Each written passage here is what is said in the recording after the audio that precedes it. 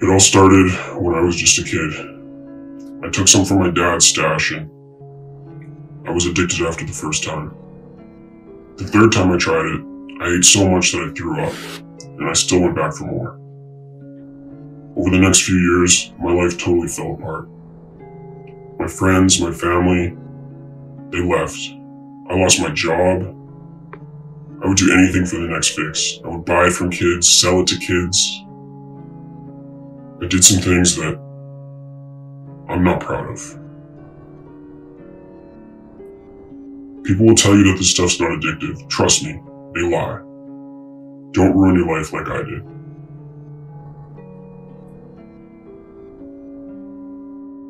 It's the new craze that's been sweeping the nation at an alarming rate, costing millions of dollars to buy and produce.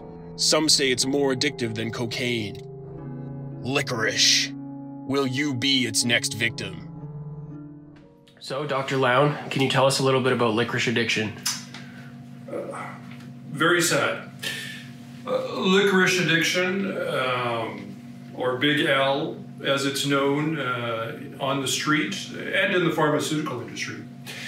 Um, it's characterized by people having an obsessive need to eat licorice, have licorice on their person, uh, prioritize licorice in their lives.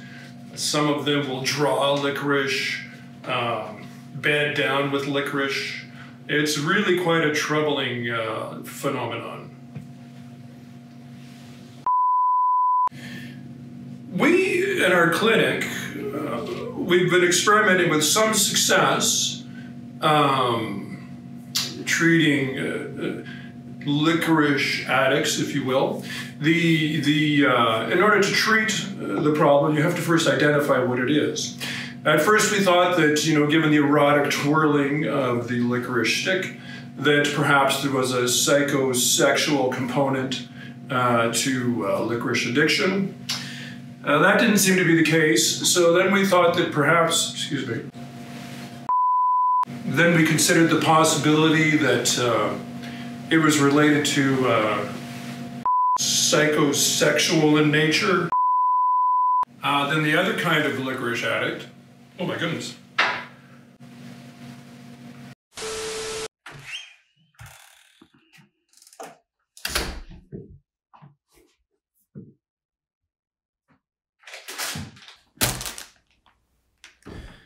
Sit down, young man.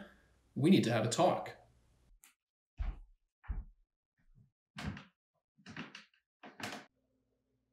This isn't the first time we found these in your room. How do you think this reflects on our family? Son, you need to start thinking about your long term health. Frankly, we're worried about you. Look how look how much this is stressing out your father.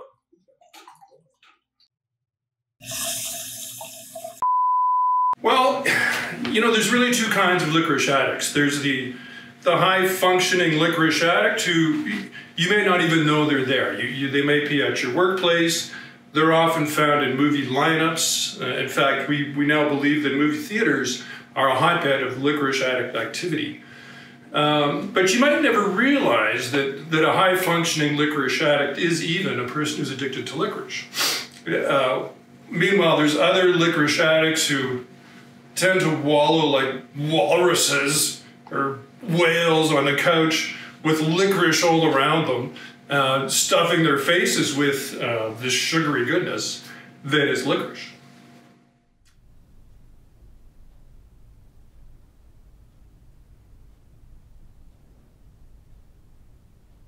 Okay, uh, Mrs. Blevins. Oh, are we starting? Yeah, can you oh, tell us a little bit about your son? Okay, well, my son's name is Travis, and um, he used to be a really good boy, but this is really embarrassing. He's a licorice addict. All he wants to do all day is eat licorice. Sometimes it's red licorice, but sometimes it's black licorice.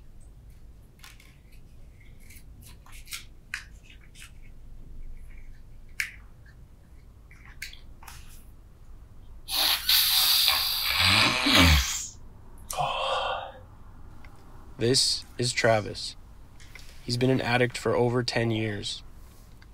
When we asked him for an interview, this is all he had to say.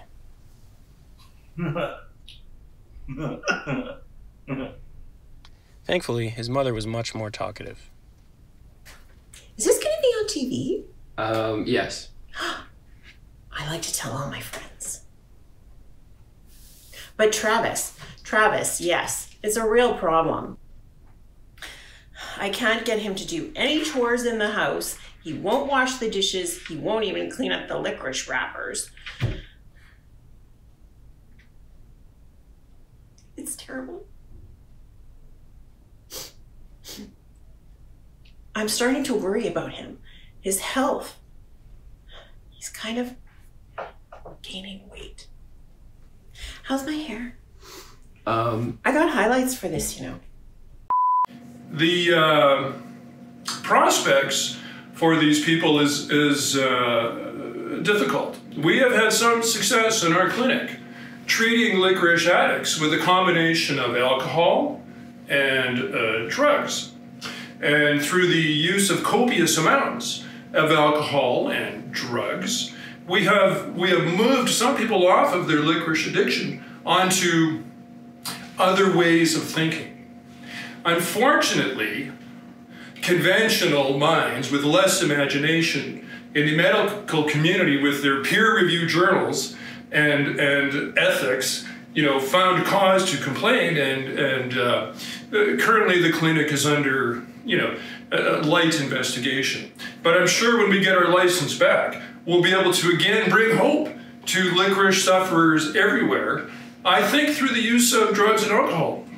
And ultimately, our goal is to get you know these young people back to their normal lifestyle of obsessive pornography watching and uh, video gaming. Uh, you know, the natural pursuits of, of the young. Any other questions? why is your office in a bathroom?